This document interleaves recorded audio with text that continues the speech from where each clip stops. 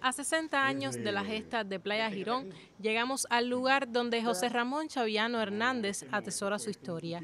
Y aunque no participó directamente en el combate, como parte de un batallón de policía, apoyó las tareas encomendadas durante los sucesos. Nosotros desde el primer momento, antes que desembarcáramos, este, desembarcaron los mercenarios, ya desde el día 15 ya se estaba actuando.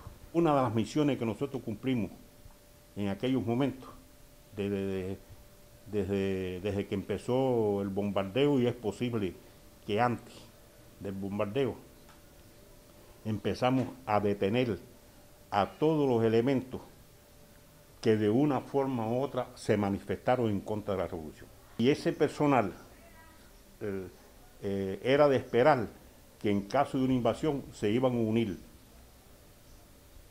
a los, a los mercenarios o se iban a alzar en contra de la revolución y entonces la situación iba a ser mucho más, más difícil. Y la misión que tenía el, batallón este de nosotros era, principalmente, era ir para Playa Girón, evitar la posible eh, entrada de mercenarios para coger las lomas del Escambray y nosotros entramos por, por Yaguarama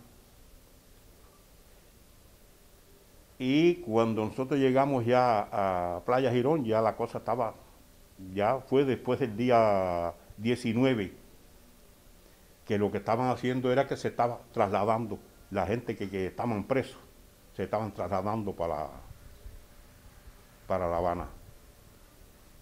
De ahí nosotros, bueno, eh, tuvimos la misión de, después que ya se trasladó todo el mundo para La Habana, eh, quedó eh, personal de, de, mercenarios, algunos heridos, otros huyendo por dentro de, de las sienes de Zapata, muchas almas botadas.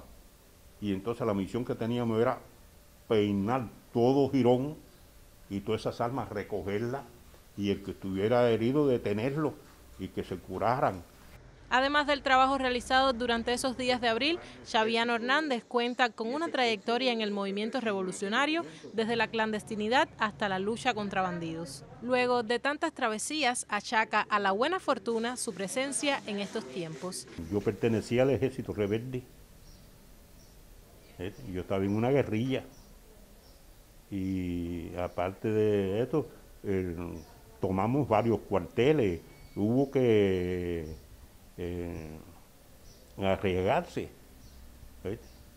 no por valiente, sino por necesidad.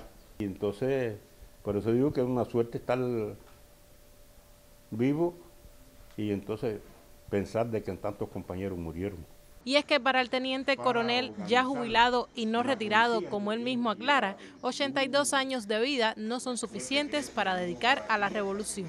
No he dado todavía la vida, voy a seguir porque por esto hay que matarnos.